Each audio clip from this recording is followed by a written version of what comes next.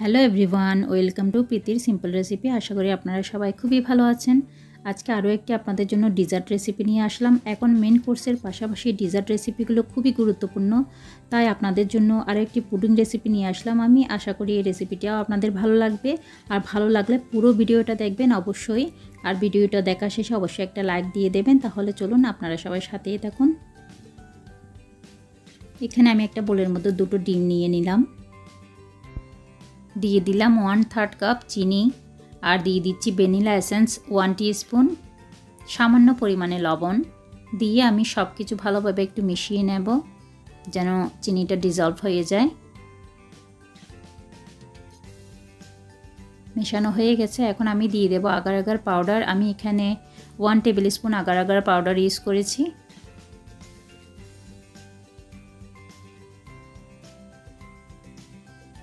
সব কিছু ভালোভাবে আমি মিশিয়ে নেব, যেন পাউডারটা মিশে যায় ভালোভাবে। এখন আমি এখানে অ্যাড করে দেব পানি, এটা নর্মাল পানি। আমি এখানে পানি দিয়েছি দুই কাপের মতো, দিয়ে ভালোভাবে আমি মিশিয়ে নেব। আর এখানে আমি দেব ফুড কালার আমি এখানে গ্রিন ফুড কালারটা ইউজ করেছি। খুবই সামান্য পরিমাণে আমি এখানে ফুড কালারটা দিয়েছি। দিয়ে জাস্ট একটু মিশিয়ে নিলে হয়ে যাবে। যে এটি মেশানো আমার হয়ে গেছে এখন। এখন একটা প্যানের মধ্যে আমি পুরো পানিটাই দিয়ে দিলাম, দিয়ে ভালোভাবে ফুটিয়ে নেব।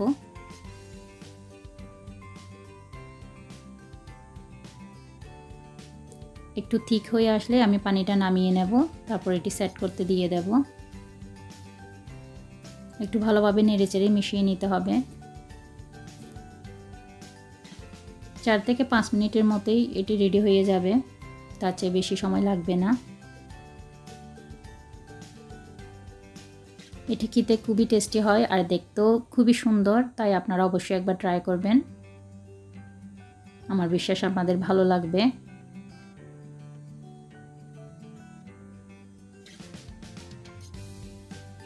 এই যে দেখতে দেখতে আমার মিশ্রণটি রেডি এখন আমি একটা বোলের মধ্যে এটি নামিয়ে নেব, যে বোলটাতে আমি এটি সেট করব। আমি এটি 30 মিনিটের জন্য ফ্রিজে রেখে দেব। এখন আমি আরেকটা পাত্রের মধ্যে দুই কাপের মতো দুধ নিয়ে নিলাম। এখন আমি অ্যাড করে দিচ্ছি one tablespoon agar agar powder one third cup চিনি ওয়ান স্পুন ভ্যানিলা এসেন্স দিয়ে সব কিছু আমি ভালোভাবে আগে একটু মিশিয়ে নেব, তারপর আমি চুলোটা অন করে দেবো। এটি আমি মিডিয়াম ফ্লেমে রেখেই কুক করে নেব। চার থেকে পাঁচ মিনিটের মধ্যে এটি রেডি হয়ে যাবে।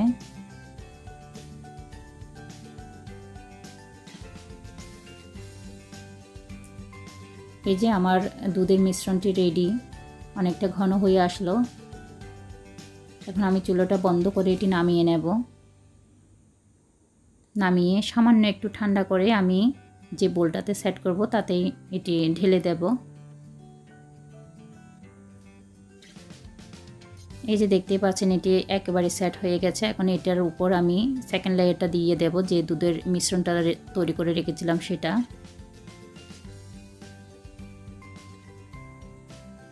দিয়ে আমি দুই ঘণ্টার জন্য এটি ফ্রিজে রেখে দেব, তারই মধ্যে এটি সেট হয়ে যাবে।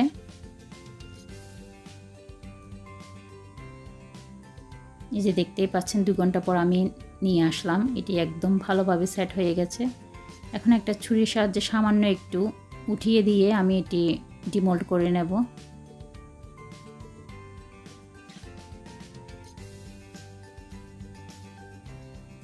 এই যে দেখে বুঝতে পারছেন কতটা সুন্দর হয়েছে আর খেতেও খুবই মজাদার হয়। আপনারা অবশ্যই ট্রাই করবেন।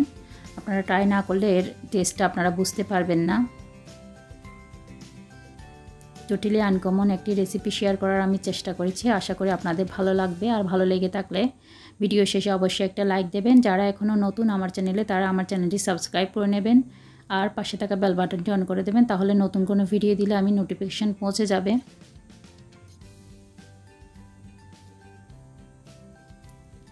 যে কেটে দেখাচ্ছে একটু। তাতে আপনারা বুঝতে পারবেন কতটা সুন্দর হয়েছে ভেতর থেকেও।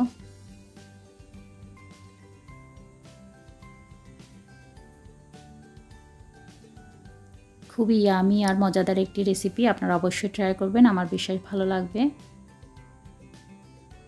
আর আপনাদের কেমন লাগল অবশ্যই আমাকে কমেন্ট করে জানাবেন, আপনাদের কমেন্টের অপেক্ষায় থাকলাম। ততক্ষণ পর্যন্ত আপনারা সবাই ভালো থাকবেন, সুস্থ থাকবেন বাই এভরিওয়ান